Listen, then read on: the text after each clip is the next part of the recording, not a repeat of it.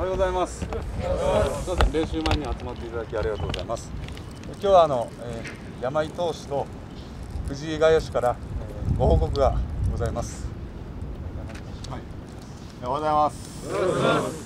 えー、20年間ドラゴンズさんでお世話になって、えーまあ、この日がついに来てしまったという感じです。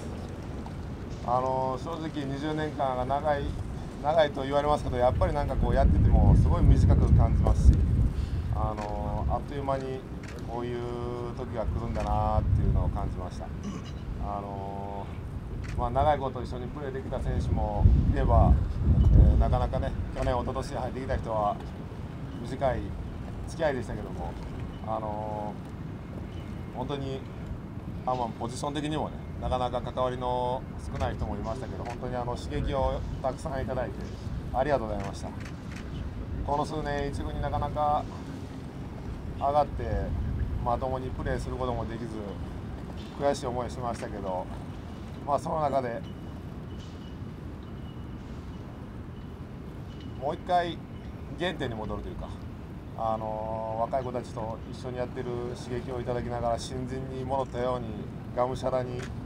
投げてしっかり走り込んでなんとかっていう気持ちはありましたけども、あのまあ、この1年2年悔しい思いをしましたけどもこれからの自分の財産になっているとは思いますので、えー皆さんも一日一日を悔いなく皆さん悔いなく後悔なく終わりましたっていう人いますけど絶対ありますんであのその悔い後悔を本当少しでも少なくして一日を過ごしてください。本当に皆さんありがとうございました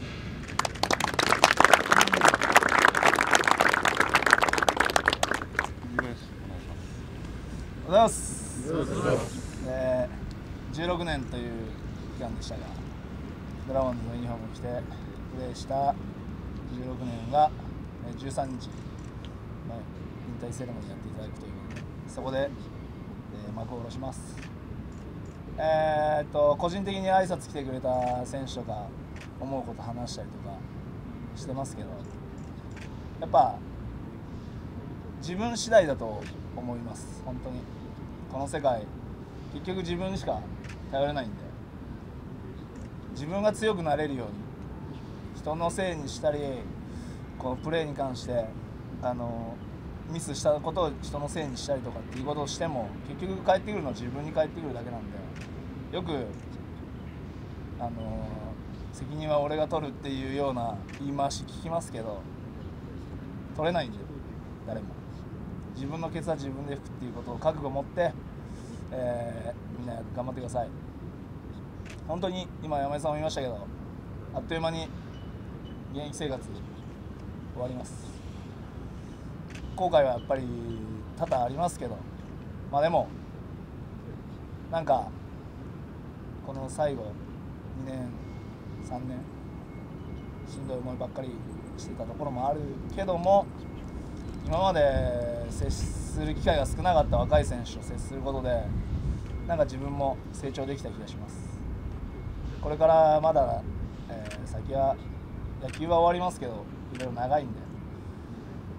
えーみんなもまずは今野球選手でいることを本当に喜びを感じて一日一日精一杯頑張ってください、えーそうしないと俺とか山井さんみたいに最近の若い子からすると YouTube の人みたいになっちゃう。過去の動画しか見てません。みたいなそうなるのが少しでもないように一日一日頑張ってください、えー今までいろいろありましたがいい16年でした。皆さんありがとうございました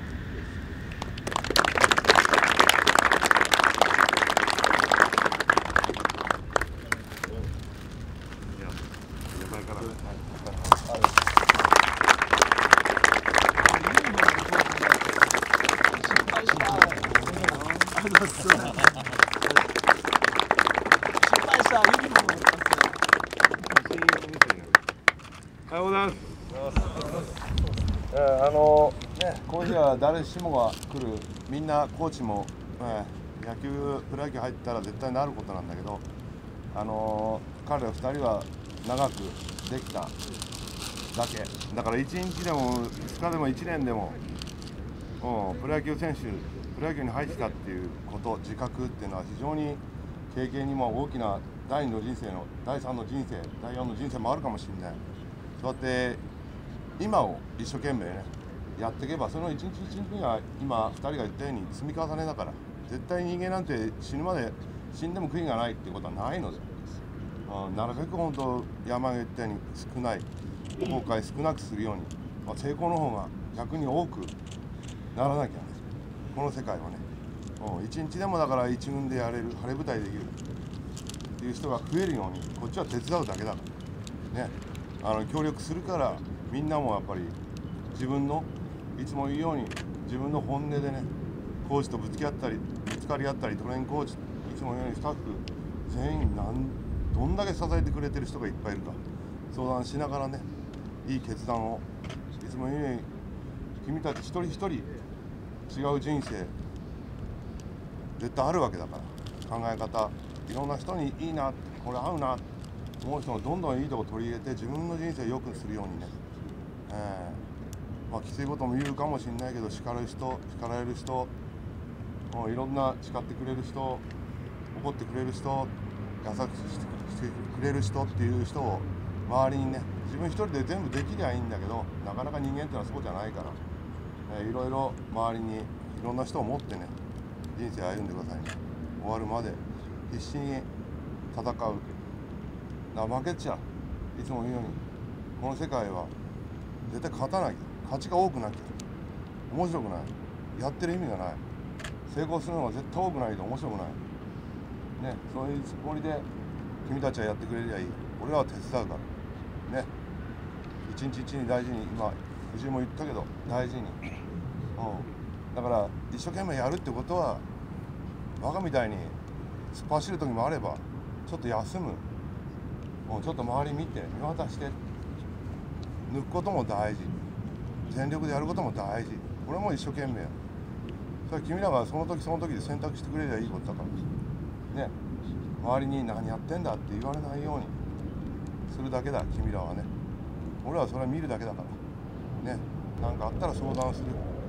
周りにいっぱいいるんだから。君ら助けて見てくれる人がいっぱいいるんだから。ね。そういうつもりでみんな思い切って一日一日やってくれね。OK はい。きます。じゃ。あ最後いきます。いいかな OK はい OK です。よっしゃでスタッフ入ってくださいはいでは行きます。はい行きます。はい行きます。じゃあ最後行きます。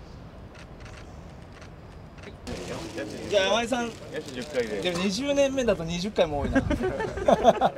何回にしよう。なんかまつわる数字。いやもうセブンセブン。じゃああそうだ。セブンだ。ウルトラマンセブンだウエイトになるってやつ。はい行くいや怖いこれめっちゃ怖かったっす昨日こんな高かったじゃあありがとうございますよし。怖い怖い怖い怖い怖いよしじゃあちゃんと参加してよみんな結構重いからね。せーの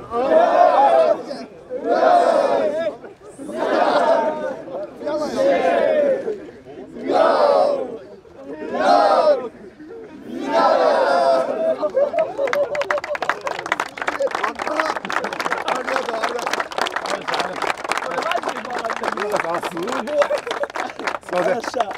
練習のあれですすみませんです。ありがとうございましたあらしゃあいいですかもう一回やってもらってさっきより人数昨日より多いからさちょっともう一回やってもらって昨日より高い高さ頼むよ昨日より昨日大概高かったよ一回でどう頼むよ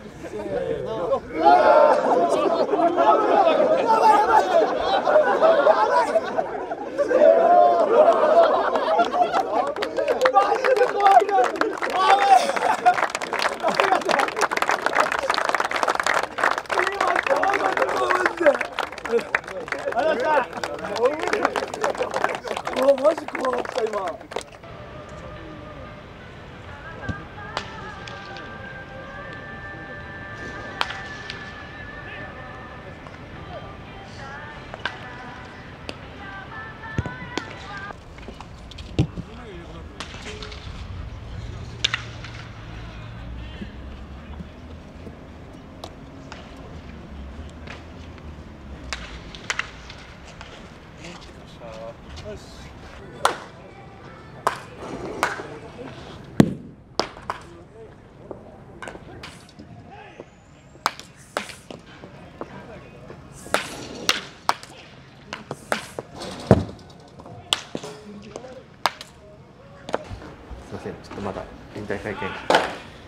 セレモニーとありますけど、はい。現状でファンの皆さんにメッセージいただけますか？え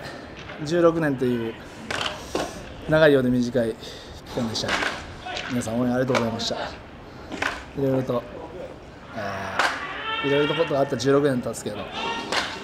まあ、あの記録よりも記憶に残るような選手でいたいと思ってたんで、まあ、そういう意味では良かったかなと思います、えー